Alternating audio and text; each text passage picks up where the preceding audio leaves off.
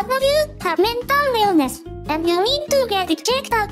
If you are on my page and you don't like me, and you don't even like yourself cause you don't even have a picture of yourself probably cause you're ugly as fuck, and you come on my page to criticize me because you suck at life. You need to see a therapist and get off social media. Yeah, um,